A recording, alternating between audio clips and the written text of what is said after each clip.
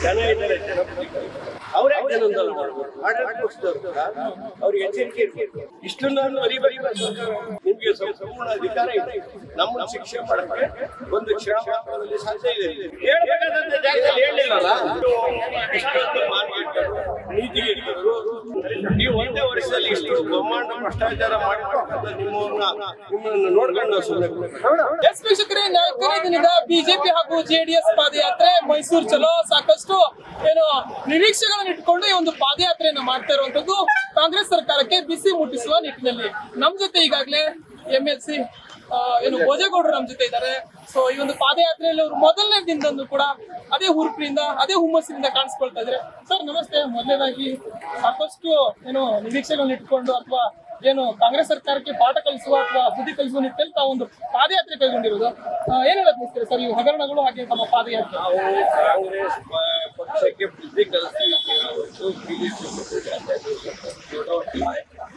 ಜನ ಇದ್ದಾರೆ ಜನ ಬುದ್ಧಿ ಕಲಿಸ್ತಾರೆ.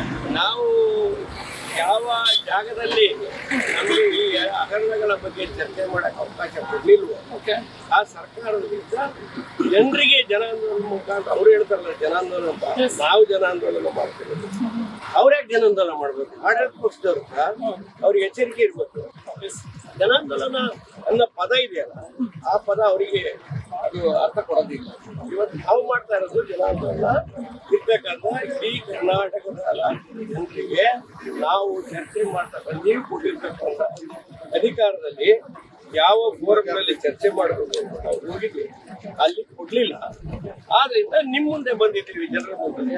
ಜನರಿಗೆ ಇವ್ರು ಮಾಡ್ತಕ್ಕಂತ ಅನೇಕ ಭ್ರಷ್ಟಾಚಾರಗಳು ಒಂದಲ್ಲ ಎರಡಲ್ಲ. ಈ ನೋಡಿ ದಿನನಿತ್ಯ ಅನೇಕ ಅಧಿಕಾರಿಗಳು ಅವರು ಆತ್ಮಹತ್ಯೆ ಮಾಡ್ಕೊಂತಾರೆ. ಅವ್ರ ಕುಟುಂಬಸ್ಥರು ಯಾವ ಕಾರಣಕ್ಕೋಸ್ಕರ ಆತ್ಮಹತ್ಯೆ ಮಾಡ್ಕೊಂಡ್ರು ನಮ್ಮ ಅಧಿಕಾರಿಗಳು ಅನ್ನೋದನ್ನ ನೇರವಾಗಿ ಹೇಳ್ತಾ ಇದ್ದಾರೆ. ಇಷ್ಟನ್ನಾದ್ರೂ ಅರಿಬೇಕಲ್ಲ ಸರ್ಕಾರ? ಈಗ ಇವ್ರು ನೀವೆಂತ ಜನ ಅಂತ ಮೇಡಮ್? ನೀವು ಯಾರು ಕೇಳ್ತಾ ಇದ್ರಿ? ಆಡಳಿತ ಪಕ್ಷದವರು ನಾವುಗಳೇನಾದ್ರು ತಪ್ಪು ಮಾಡಿದ್ರೆ ನಿಮ್ಗೆ ಸಂಪೂರ್ಣ ಅಧಿಕಾರ ಇದೆ. ನಮ್ಮನ್ನು ಶಿಕ್ಷೆ ಮಾಡಕ್ಕೆ ಒಂದು ಕ್ಷಣ ಮಾತ್ರದಲ್ಲಿ ಸಾಧ್ಯ ಇದೆ ನಿಮ್ಗೆ. ಯಾಕೆ ಮಾಡ್ತಾ ಇಲ್ಲ ಬಿಜೆಪಿ ಅವ್ರು ತಪ್ಪು ಮಾಡ್ತಾ ಇದ್ದಾರೆ. ಜೆ ಡಿ ಎಸ್ ಅವ್ರು ತಪ್ಪು ಮಾಡ್ತಾ ಇದ್ದಾರೆ ಅಂತ ಹೇಳ್ತಾ ಇದ್ದಾರೆ? ನೀವ್ ಹೇಳ್ಬೇಕಾದ್ರೆ ನಮ್ಗೆ ಶಿಕ್ಷೆ ಮಾಡಿ. ಶಿಕ್ಷೆ ಮಾಡಬೇಡ ಅಂತ ನಾವು ಹೇಳಿದೀವ. ನಿಮಗೆ ನೇರವಾದ ಅಧಿಕಾರ ಇದೆ ನಮ್ಗಾದ್ರೂ ಅಧಿಕಾರ ಇಲ್ಲ. ಆಯ್ತಾ? ನಾವು ಜನರ ಮುಂದೆ ಜನತಾ ನ್ಯಾಯಾಲಯದ ಮುಂದೆ ಹೋಗ್ತಕ್ಕಂಥ ಅನಿವಾರ್ಯ ನಿರ್ಮಾಣ ಮಾಡೋದು ನೀವು. ಆದ್ರೆ ಮುಂದೆ. ಈ ಪಾದಯಾತ್ರೆ ಮುಖಾಂತರ ಯಶಸ್ವಿ ಪಾದಯಾತ್ರೆ. ಎಷ್ಟು ಸಾವಿರಾರು ಸಂಖ್ಯೆಯಲ್ಲಿ ಸೇರ್ತಕ್ಕಂಥ ಅದು ಬೆಳಗಿನಿಂದ ಸಾಯಂಕಾಲ ಆಗೋದ್ರಲ್ಲಿ ಜನ ಅದು ಮೂರು ಕೊಟ್ಟು ನಾಲ್ಕು ಪಟ್ಟು ಜಾಸ್ತಿ ಇಲ್ಲಿ ಅದು ಇತಿಹಾಸ ಈ ಇತಿಹಾಸ ಜನ ಆಂದೋಲನ ಇವತ್ತು ಜನರೆಲ್ಲ ಎಚ್ಚರಿ ಆಗಿರೋದ್ರಿಂದ ಇಡೀ ರಾಜ್ಯದ ಮೂಲೆ side side side side side side side ಮೈಸೂರಿನ ಪಾದಯಾತ್ರೆ ಹಾಗಾಗಿ ಕಾಂಗ್ರೆಸ್ ಸಂಪೂರ್ಣವಾಗಿ ಒಂದೇ ವರ್ಷದಲ್ಲಿ ಜನರ ವಿಶ್ವಾಸವನ್ನು ಕಳ್ಕೊಂಡಿರ್ತಕ್ಕಂಥದ್ದು ಬಹಳ ನೇರವಾಗಿ ಗೊತ್ತಾಗ್ತದೆ.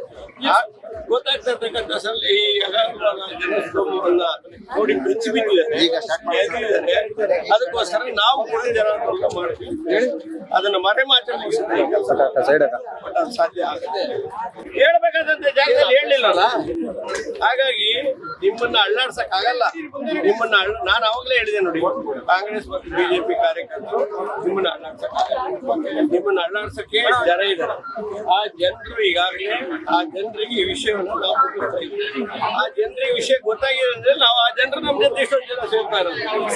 ಅವಕಾಶ ಬರ್ಬೇಕಲ್ಲ ಬಟ್ ನೀವು ಇಷ್ಟೊಂದು ಮಾನ್ಗೆಟ್ಟರು ನೀತಿಗೆಟ್ಟವರು ಇಷ್ಟೊಂದು ಅಗಾಧವಾದಂತ ಅನುಭವ ಇದ್ದಂಥವ್ರು ಇಷ್ಟು ಮಾನ್ಗೆಟ್ಟವರು ಅಂತ ನಾವು ತಿಳ್ಕೊಂಡಿರ್ಲಿಲ್ಲ ಈಗ ನಮಗೆ ಈಗ ಗೊತ್ತಾಯ್ತು ಇಡೀ ರಾಜ್ಯದಲ್ಲಿ ನೀವು ಬಾನ್ಗೆಟ್ ಅಂತ ಗೊತ್ತಾಗ್ಬೇಕು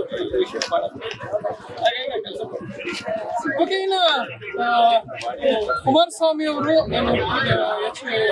ಯಡಿಯೂರಪ್ಪನವರು ಜೈಲಿಗೆ ಹೋಗೋಕೆ ಮುಖ್ಯಮಂತ್ರಿ ಆಗಿರುವ ಸಂದರ್ಭದಲ್ಲಿ ಸ್ಥಾನದಿಂದ ಕೆಳಗಿಳಿಯೋಕೆ ಹಾಗೆ ಜೈಲಿಗೆ ಹೋಗೋಕೆ ಮುಖ್ಯ ಕಾರಣ ಡಿ ಕುಮಾರಸ್ವಾಮಿ ಅವರು, ಅವ್ರ ಜೊತೆ ಸೇರಿಕೊಂಡು ಈಗಾಗಲೇ ಇವರು ಪಾದಯಾತ್ರೆ ಮಾಡ್ತಾ ಇದ್ದಾರೆ ಅನ್ನುವಂಥದ್ದು. ಹಾಗೇನೆ ಎಚ್ ಡಿ ಕುಮಾರಸ್ವಾಮಿ ಅವರ ವಿರುದ್ಧ ಏನು ಬಿಜೆಪಿ ಅವರು ಜಾಹೀರಾತನ್ನು ಕೊಟ್ಟಿದ್ರು ಆ ಸಂದರ್ಭದಲ್ಲಿ ಅವರ ಹಗರಣಗಳ ಕುರಿತಾಗಿ ಇದೀಗ ಇಬ್ಬರು ಸೇರ್ಕೊಂಡು ಪಾದಯಾತ್ರೆ ಮಾಡ್ತಾ ಇದ್ದಾರೆ.